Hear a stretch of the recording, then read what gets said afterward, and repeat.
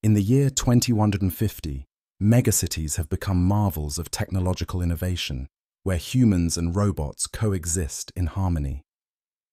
Artificial intelligence has advanced to the point where robots are now indistinguishable from humans in terms of cognitive abilities and emotional intelligence.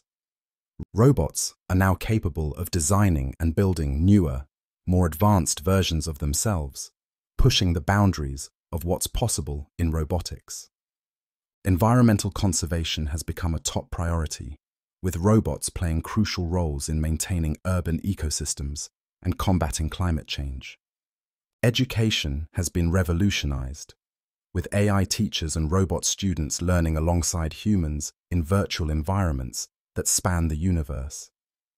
In healthcare, robots have become invaluable, performing complex surgeries and providing round-the-clock care with unmatched precision and efficiency.